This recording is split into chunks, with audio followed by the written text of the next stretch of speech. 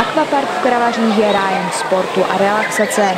Obec Volatice se letos rozhodla, že chce podpořit sportovní aktivity a volnočasové, volnočasové aktivity občanů, tak jsme se rozhodli, že uspořádáme několik takových eh, zajímavých eh, akcí, které by občany přilákaly k sportu.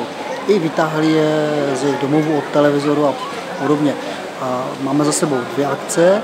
Eh, jednou byla Bully Arena ledová plocha, kde se zúčastnilo zhruba 140 lidí a dnes eh, se nacházíme v akvaparku, také v Kravařích, kde přišlo okolo 160-170 lidí. V obci Bolatice všem místním občanům dopřáli návštěvu tohoto zařízení zdarma. Tuto aktivitu podpořilo zastupitelstvo obce ve prospěch občanů, to znamená, všichni občané mají tyto aktivity zdarma.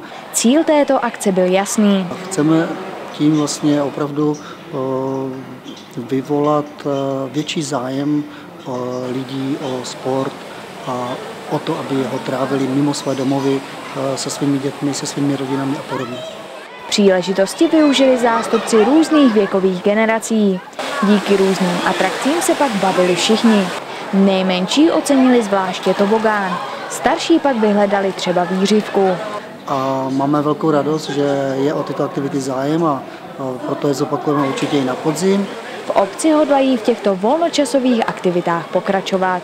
Kromě toho ještě chystáme další aktivitu a to je takové show na koupalištích v Volaticích u příležitosti výročí 40 let našeho koupaliště. No a také chceme udělat olympiádu pro naše občany, na kterou bychom rádi pozvali i Šárku Košpárkovou, takže uvidíme, jak se nám to všechno povede a pokud to bude o tyto aktivity zájem i v příštím roce, tak samozřejmě rádi je podpoříme. Pro kravaře z Bolatic Markéta Níková.